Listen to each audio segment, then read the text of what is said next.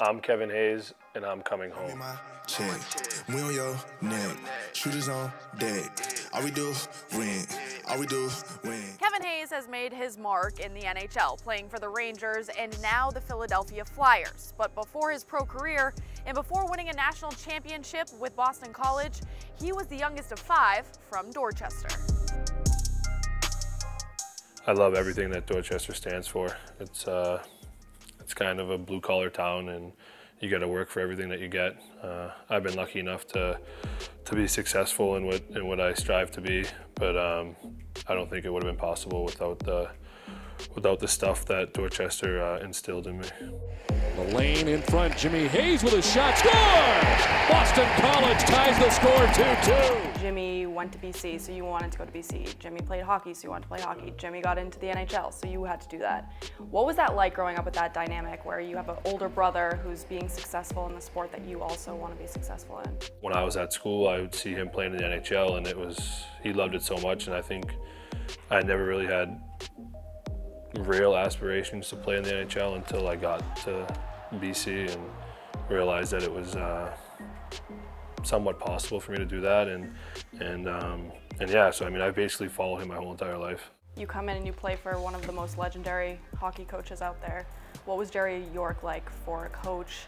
Yeah, he was great. Uh, I remember the day I committed, he came over to my parents' house in Dorchester for dinner, and and um, he he treats you as a hockey player, but his main thing is uh, you leave school with a diploma in one hand and a national championship in the other hand. Uh, I was lucky enough to do that. You graduate from BC and you go to the Rangers. Was there a moment in your mind that it all clicked, that it was actually happening for you, and that you were going to be able to do this as a profession outside of school? Yeah, it was awkward when, when the news broke that I was signing with the Rangers. Like, all the Boston sports fans that I'm friends with were like, what's going on of any team. How did you pick this team? And and uh, I just felt like it was the best fit. It had nothing to do with with wanting to be rivals with Boston or anything. And um, it took the New York fans about two years to fully be okay with me being a Red Sox, Celtics, and Patriots fan. Um, and it, I mean, it kind of built like a little bit of a friendship with the fans. All right, well, you come home a lot, but overall, what does coming home mean to you? Coming home back to Dorchester is, is awesome. Uh, it's where this New England and Boston especially loves their sports teams. And when you pull up to your parents' house in Dorchester and you see 15 kids playing street hockey outside with Blackhawks Hayes jerseys on and Rangers Hayes jerseys on and Winnipeg Hayes jerseys on, it's it's cool to to know that at one point you were wearing Bruins jerseys when you were that age playing street hockey out front. All right, now you can take a break and we'll do rapid fire. Best ice cream. Ice Cream Smith. Okay, best coffee.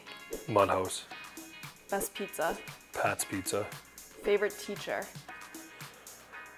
Um, Miss Lewis because every time I'd write a paper, it'd be about hockey, and she called my parents once and said that you need to stop telling your son he's going to play in the NHL because this is all he talks about. Favorite coach growing up? Um, probably Tommy Municello from Weymouth. Okay, and last but certainly not least, this one's kind of hard. Neighborhood legend. Probably Skippy Larry.